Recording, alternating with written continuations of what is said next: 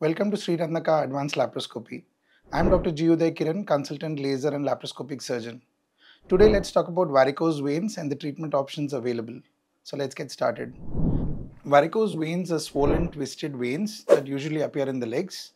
They are caused by weakened valves and increased pressure in the veins which can lead to discomfort and visible bulging.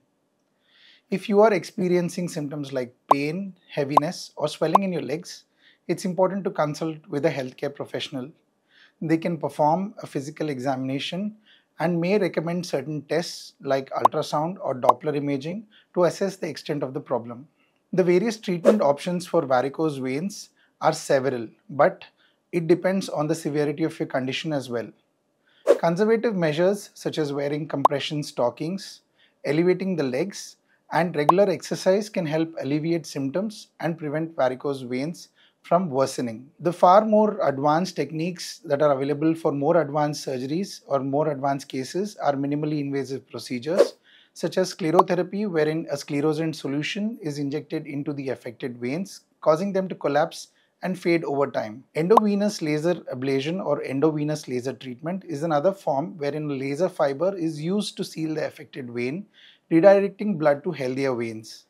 Another method is radiofrequency ablation where heat energy is used to close off the vein and it is similar to EVLT. After any of these procedures, it is important to follow your doctor's instructions for post-treatment care. This may include wearing compression stockings, avoiding prolonged sitting or standing, and staying active to promote blood circulation. There might be certain side effects or risks.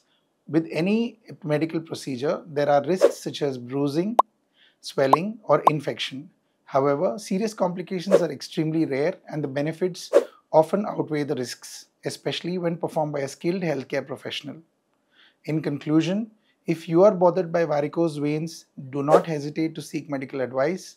With the right treatment approach, you can find relief from discomfort and improve the appearance of your legs. Remember, maintaining a healthy lifestyle and seeking timely medical intervention can make a big difference in managing varicose veins.